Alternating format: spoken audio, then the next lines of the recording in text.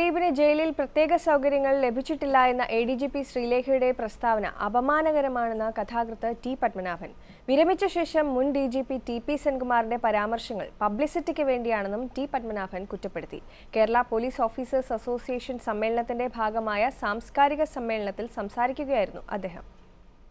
നടിയെ ആക്രമിച്ച കേസ് പ്രതികളെ പിടികൂടിയത് കേരള പോലീസിന്റെ തൊപ്പിയിലെ പൊൻതൂവലാണെന്ന് ടി പത്മനാഭൻ പറഞ്ഞു. ടി പി കേസിനേക്കാൾ വലിയ നേട്ടമാണ് ഇതിലൂടെ പോലീസിനുണ്ടായത്. ദിലീപിന് ജയിലിൽ പ്രത്യേക പരിഗണന കിട്ടുന്നത് നടന വൈഭവത്തിന്റെ പേരിലല്ല പണമുള്ളതിനാലാണ്. ജയിലിൽ ദിലീപിന് പ്രത്യേക പരിഗണന കിട്ടിയോ എന്ന കാര്യത്തിൽ അന്വേഷിക്കാതെ പ്രസ്താവന ഇറക്കിയ എ ഡി ജി പി ശ്രീലേഖയ്ക്ക് തലസ്ഥാനത്തിരിക്കാൻ യോഗ്യതയില്ലെന്നും ടി പത്മനാഭൻ പറഞ്ഞു. എനിക്ക് ലഭിച്ച വിവരം അങ്ങനെയൊന്നുമില്ല എന്നാണ്. ഇതിലപ്പുറം അപമാനകരമായ ഒരു പ്രസ്താവം എനിക്ക് സങ്കല്പിക്കാൻ കഴിയില്ല. ഏതെങ്കിലും ഒരു കള്ളൻ പറയുമോ ഞാനത് ചെയ്തിരിക്കുന്നു എന്ന്?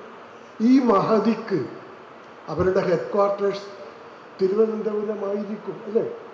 എന്ന് ഞാൻ വിശ്വസിക്കുന്നു.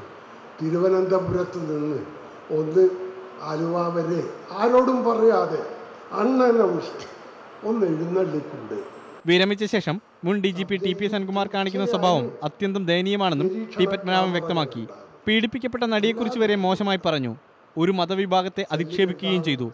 ഇതിലൂടെ പബ്ലിസിറ്റി ഉണ്ടാക്കാനാണ് സെൻകുമാർ ശ്രമിക്കുന്നതെന്നും ടി പത്മനാഭൻ കുറ്റപ്പെടുത്തി.